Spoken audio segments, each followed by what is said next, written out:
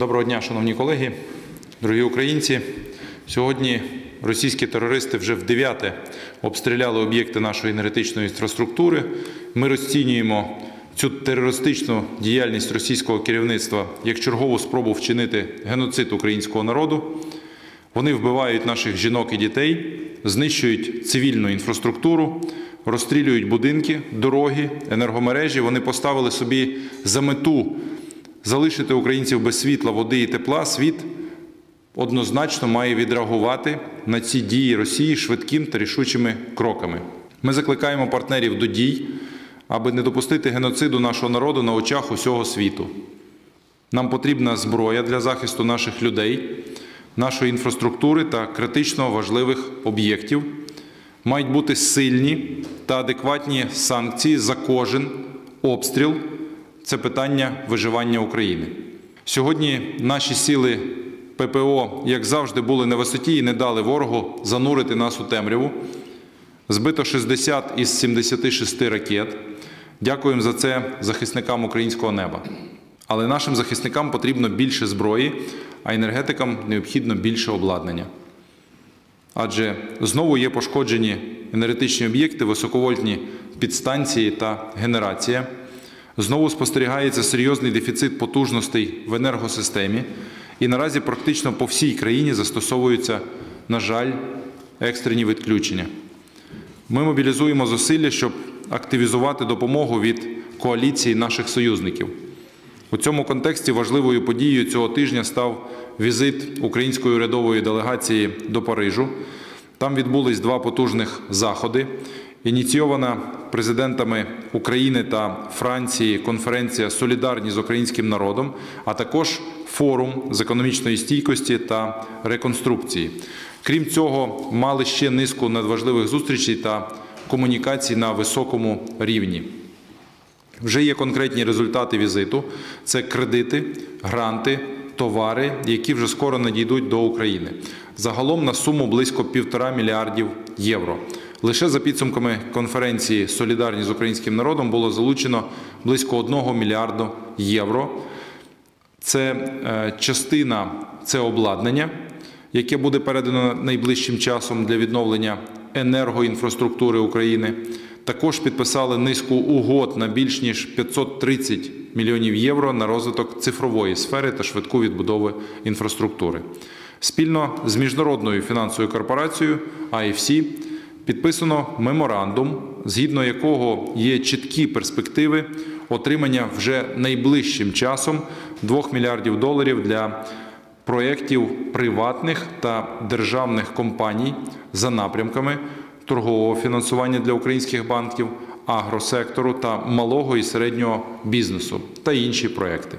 Дякую президенту Франції Макрону, народу Франції, всім партнерам за підтримку. Разом ми сильніше, разом ми переможемо. Під час переговорів у Парижі у фокусі нашої уваги були три теми.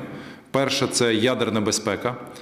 Російські терористи досі загрожують Україні та світу.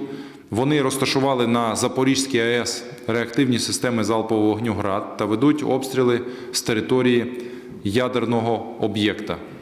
Російські терористи шантажують, залякують, застосовують фізичне насильство до українських працівників ЗАЕС. Це безпрецедентні дії, яких історія ще не знала. Позиція України чітка та незмінна. Російські терористи мусять піти з української станції, забезпечивши демілітаризовану 30-кілометрову зону. Керівник МАГАТЕ Рафаель Гросі пообіцяв, що незабаром на всі атомні станції приїдуть технічні постійні місії агентства. На ЗАЕС така місія буде розширена. Це знизить ризики деструктивних впливів з боку Росії. Друга тема це енергетика. Домовились про кредит від ЄБРР для державної компанії Укренерго. Це 300 мільйонів євро. Частина цих коштів піде на негайне відновлення мережі. Додатково Нідерланди надають нам 70 мільйонів євро гранту на закупівлю високовольтного обладнання. Крім того, Франція та ЄБРР уклали угоду щодо екстреної фінансової допомоги Україні на суму 100 мільйонів євро для потреб енергетики та логістики. За ініціативою президента України Володимира Зеленського Готуємо масштабну компанію безкоштовної заміни старих неефективних ламп на led освітлення. Плануємо замінити 50 мільйонів одиниць. Тож домовились, що Єврокомісія закупить для України 30 мільйонів світлодіодних ламп, ще 5 мільйонів світлодіодних ламп додатково надасть Франція. У підсумку заощадимо до 10% споживання електроенергії в час пікових навантажень. Енергетична допомога Україні триватиме і надалі. У Парижі щодо цього побачили однозначно консолідовану позицію. Малі та середні українські підприємці вже імпортували 500 тисяч малопотужних генераторів, але для проходження зими нам потрібно ще близько 17 тисяч великих та промислових генераторних установок. Сподіваємося, частину цих потреб закрити за допомогою наших партнерів. Третя тема, яка є в центрі уваги, це ресурси для, відновлення. Уклали угоду про постачання французьких рейок для Укрзалізниці на суму до 38 мільйонів євро. Фінансуватиме проект уряд Франції. Відновимо всі пошкоджені ділянки залізничного сполучення. Укравтодор підписав меморандум із французькою компанією Матієре. Йдеться про постачання легкозбірних мостів на суму 25 мільйонів євро. Росіяни зруйнували та пошкодили 25 тисяч кілометрів доріг та 315 мостів. За підтримки французьких друзів зможемо відновлюватися швидше. Україна вкотре наголосила, що відбудова це не лише про те, що буде завтра, але і про те, як діяти сьогодні. Тож з покладанням на власне на власні сили за підтримки США, за підтримки Європи та всього цивілізованого світу вистоїмо, пройдемо цю складну зиму, щоб наближитись до нашої остаточної беззаперечної перемоги. Дякую за увагу. Слава Україні!